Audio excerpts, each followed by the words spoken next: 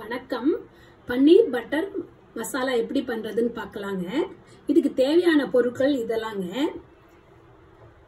தக்காளி பச்சை மிளகா காஞ்ச மிளகா ரெண்டு ஒரு முந்திரி பருப்பு ஒரு பத்து சின்ன துண்டு பட்டை லவங்கம் ஒரு ஏலக்காய் பிரிஞ்சி பட்டைங்க காஷ்மீர் சில்லி மிளகாத்தூள் இஞ்சி பூண்டு பேஸ்ட்டு ஒரு half spoon sugar cream paneer butter paneer. தேவையான அளவு சால்ட்டுங்க இப்போ எப்படி செய்யறதுன்னு பார்க்கலாங்க. கடாயில் ஒரு நாலு ஸ்பூன் எண்ணெய் ஊற்றிடலாங்க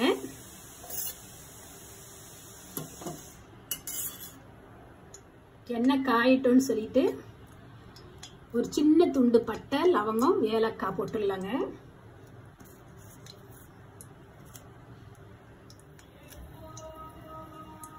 பிரிஞ்சி இலை போட்டுக்கலாங்க. அடுத்து பச்சை மிளகா போட்டுக்கலாங்க. காஞ்சி மிளகா போட்டுக்கலாங்க. தக்காளியை போட்டுடுவோம்.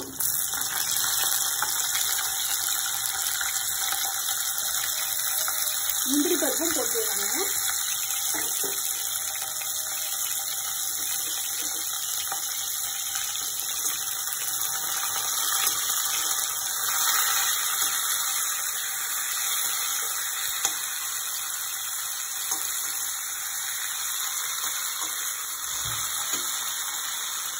உப்பு போட்டுடலாங்க.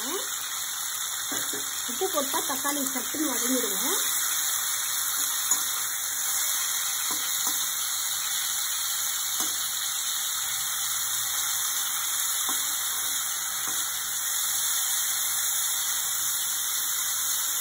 தேவையான அளவு தண்ணி ஊற்றி ஒரு அஞ்சு நிமிஷம் மூடி வச்சிடலாங்க.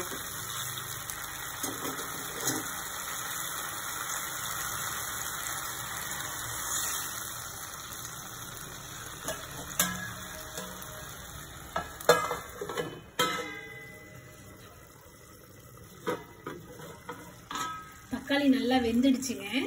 இது ஆற வச்சுட்டு மிக்சியில் நல்லா ஃபைன் பேஸ்ட்டாக அரைச்சி எடுத்துக்கணுங்க. மிக்சியில் ஃபைனாக தக்காளி பேஸ்ட்டு அதெல்லாம் அரைச்சி வச்சுட்டோங்க.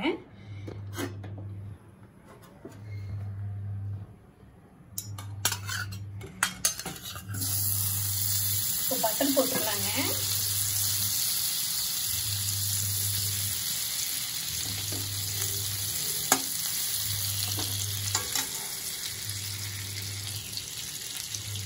ஒரு ஒரு பச்சை மிளகா போட்டுடலாங்க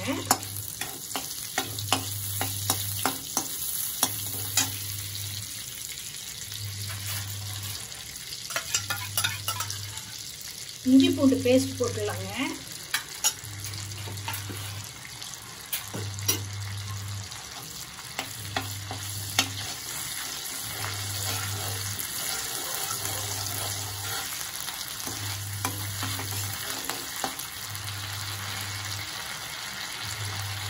காஷ்மீரி சில்லி போட்டுடலாங்க.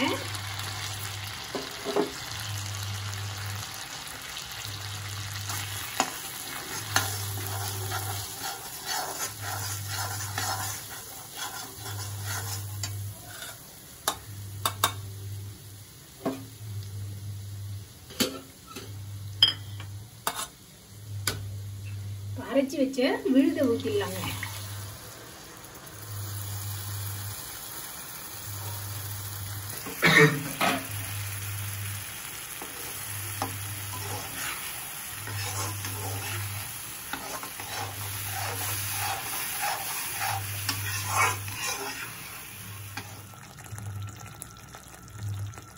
நம்ம ஊற்றின பட்டர் எல்லாம் பிரிஞ்சுக்கு நல்லா வந்துடுச்சு பாருங்க.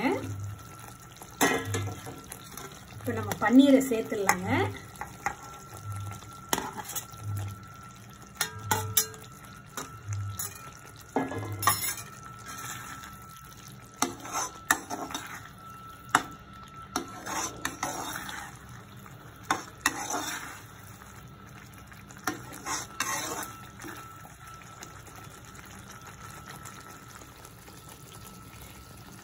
மீடியம் ஃப்ளேமில் வச்சு ஒரு அஞ்சு நிமிஷம் மூடி வச்சிருங்க. இப்போ நம்ம பன்னீர் பட்டர் மசாலா நல்லா வந்திருக்கு பாருங்க. இப்போ இறக்குறதுக்கு முன்ன ஒரு பிஞ்ச் சுகர் போட்டுக்குங்க. கொஞ்சம் கஸ்தூரி மேத்திய நல்லா கையில் கசக்கி போட்டுடுங்க. கலந்து விட்டுலாங்க